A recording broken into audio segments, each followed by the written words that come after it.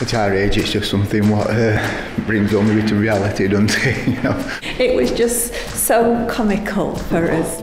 The humour combined with the pictures, absolutely superb.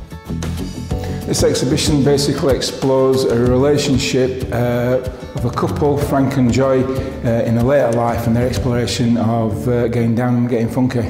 Pete and I, what we hope to achieve with this exhibition is to get people talking about a topic that's uh, generally considered taboo. When you reach a certain age, you know, sex is a bit of a taboo, but it's not really, is it? You know, it's for any age really. It's sort of challenging the stereotype where it's easy to think of old people as just kind of not active in this kind of way. I think it's a super reflection of um, elder generations' um, difficulties with life.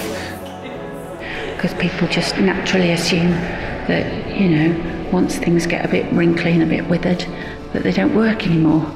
But people's minds still work, and most of sex is in your mind. So why wouldn't older people be interested in sex? That's why we're laughing so much, because it is us, you know.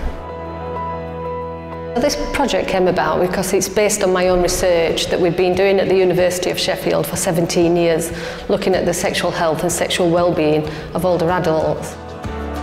It's, it's a serious subject, really is, but we try to take it with a little bit of humour so people aren't, aren't battered over the head with it and it can be kind of a little bit subversive and they can come away thinking. and this just shows that there, that there is a sex life and there is fun for, for whatever age and I'm sure people who are younger maybe can take little snippets from this uh, but certainly people of my age will find it fascinating.